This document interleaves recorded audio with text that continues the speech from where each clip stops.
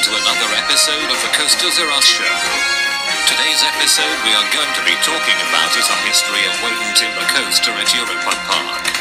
It is season 1 episode 38, and this is the R Us Show. My world's so bright, it's hard to breathe, but that's alright.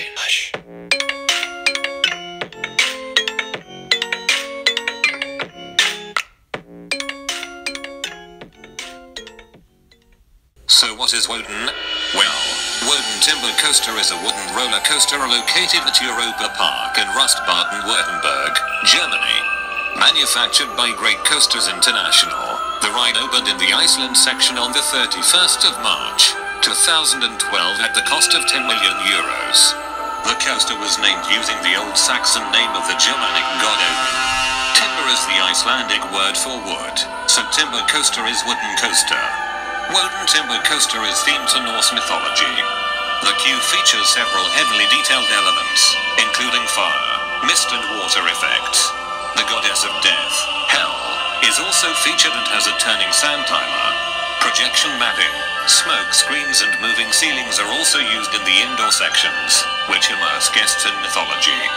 In the ride station, statues watch the train leave and turn to watch the train arrive. The ride also has several dives into tunnels and heavy interaction with surrounding areas.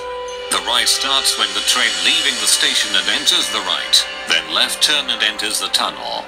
Then the train turns 180 degrees to the left under a tunnel and enters the 131 feet, 40 meter, lift hill.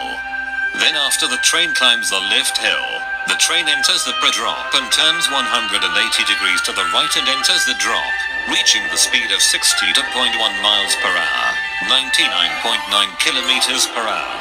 Then after the drop, the train enters the tunnel and enters the first banked Airtime Hill. Then the train banks 180 degrees to the right and enters the tunnel. Then the train banks 180 degrees to the left and enters on top of the station. Then the ride enters the second Airtime Hill and enters bank turns to the left and the right. Then the train enters the second tunnel and enters a 180 degree banked turn to the left. Then the train enters the Airtime Hill and banks 180 degrees to the left and goes under the bridge. Then the train banks to the right, then the left and the right before it hits the brakes. After the last bank turn, the train finally hits the brakes and returns to the station. The duration of the ride lasts 3 minutes and 25 seconds. The ride is full of three trains with 12 cars. Riders are arranged to across in a single row for a total of 24 riders per train. The capacity of the ride is 1,250 riders per hour. Wodan Timbur Coaster is located in the Iceland section of the park that intertwines with two attractions, Atlantica Super Splash and Blue Fire. And it is the park's first wooden coaster and was built by Great Coasters International in 2012. Question of the day, what's your opinion on Wodan Timbur Coaster at Europa Park? Please let me know in the comments down below.